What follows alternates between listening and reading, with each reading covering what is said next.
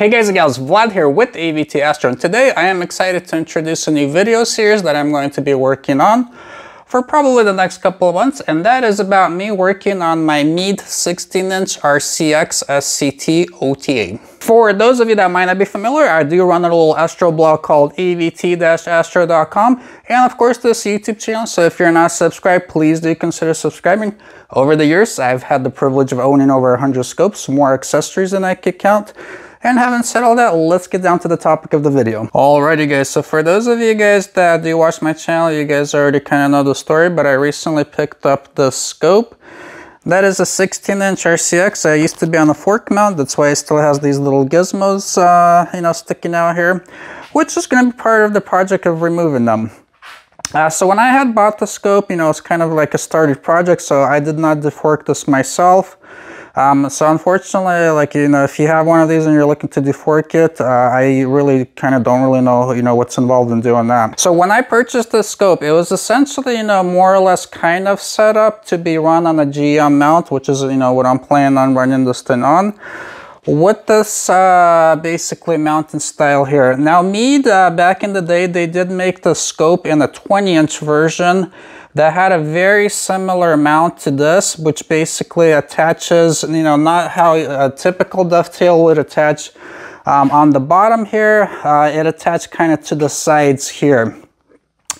Uh, the reason that I decided not to run this plate, the setup, is that uh, the scope with the setup uh, weighs in at about 115 pounds, which for me, um, running on the mount that I'm planning on getting, which, which is a Losmandy Titan, it's kind of a no-go. That mount is rated for 100 pounds of photographic, you know, capacity. So I'm guessing for visual, it's, you know, it could probably handle about 120 pounds or so. Uh, but yeah, that'd be really pushing it with that setup. So here's what my plan is. This Losmandy dovetail that was a part of the setup is only 24 inches long. My scope requires a 26 inch dovetail, which Meade actually made. And I was actually able to find a brand new one. Uh, there was only one of these on the market left, and so I was able to buy it. So basically this thing is a perfect length.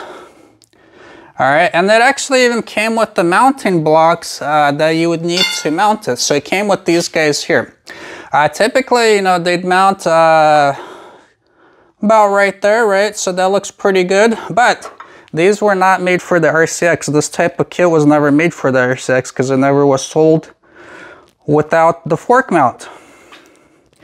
So the diameter of this regular 16 inch, uh, you know, Meade OTAs is smaller than the RCX OTA. So these do not fit and the hole patterns do not line up either. So my first step is that I 3D printed, you know, basically this is just a prototype. I'm not, you know, planning on mounting this on a 3D printed dovetail um, bracket because I don't think that uh, work out real well. But anyway, I'm actually going to cut uh, this exact, you know, essentially dovetail adapter uh, from aluminum.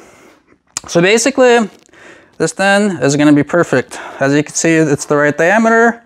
Also, let me grab the other um, little uh, adapter. I mean, check out the size difference, guys. I mean, I don't know, like to me for a 16 inch, this looks really undersized. So apparently, I mean, this is an actual Meade, you know, product. Apparently they thought that it was fine to mount the scope with that. I'm not sure if it was just um, accessories they were supposed to mount with this. Um, but yeah, so the, the plate that I'm making is going to be way beefier basically. Alrighty guys, so the first step of this project is that, you know, I kind of wanted to get under this uh, cover here to kind of see, you know, like what I was dealing with. Now I have already removed this cover, so, you know, I kind of know what's going on. So basically all that this is, is this is just a plastic cover that's totally non-structural at all. So the way that you remove this is that there's four uh, screws that hold it in place. So what you would do is you would unscrew those guys. And then you'd kind of lift it up to where the handlebars, you know, would basically be like this, which exposes the mounting screws for the handlebars. So you would actually want to remove uh, screws. You know, there's two screws that hold the handlebars because the cover will not clear the, you know, the handlebars. So basically mine are already unscrewed right now. Uh, so you, you know, once you undo those two bolts, you know, on each side, this plate is ready to come off. Now there is one catch though, because there's a fan that's built into this, you know, back plate. So what you need to do is when you start lifting this up, you kind of see the little cable there, right? So you want to unplug that red cable right there uh, before, you know, you kind of fully pull this thing off. And then that just, you know, will kind of lift right off. Alrighty, so this is what it looks like underneath with the rear plate removed. All right, now my scope, uh, this is not the default Meade configuration. This has Charlie Trump's, not Donald Trump's, Charlie Trump's. uh, control board because these RCX OTAs, they actually have uh, the way that they focus and the way that they collimate is with these three motors, which are typically controlled with your Meade remote control. But since you don't have the mount, you know, you can't use that. So this is one option of, you know, getting control of those motors. Uh, also, the OTA does have a dew heater built in, you know, in the front of the OTA. So it could control that as well. And lastly, uh, these three motors, they do control collimation. So that's how you collimate the scope. Uh, so now, so this was, again, this was already pre-installed, you know, when I bought the scope. Uh, so I don't have the instructions on how to install this.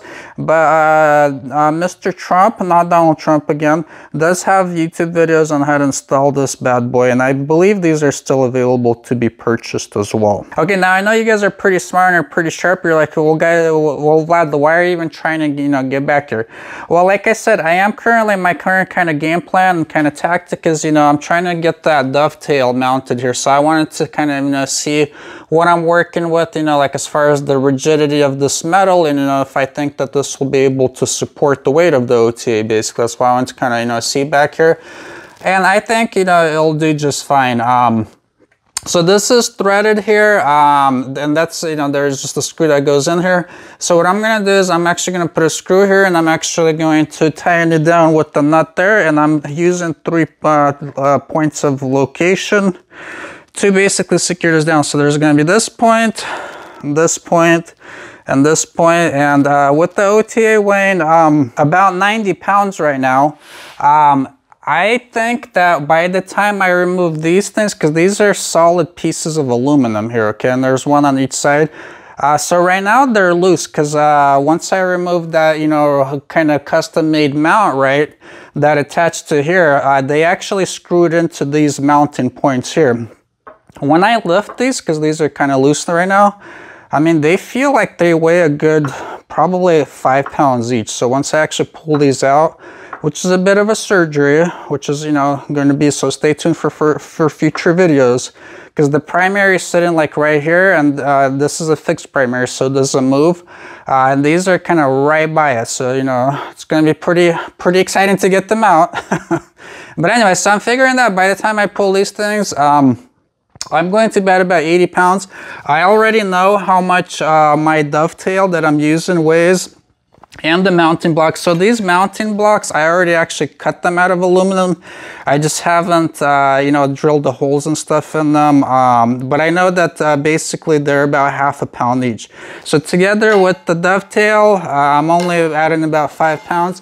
So I'm figuring that the scope is gonna weigh, you know, with the, once it's all, you know, kind of like set up and stuff like that, it's gonna weigh probably about like, you know, hopefully 80 pounds, but you know, maybe like 85 pounds. So I think, you know, overall the support system should be plenty good enough to hold this thing. Alrighty guys, so hopefully you guys enjoy this kind of intro video and demo of how to remove the rear plate on an RCX telescope.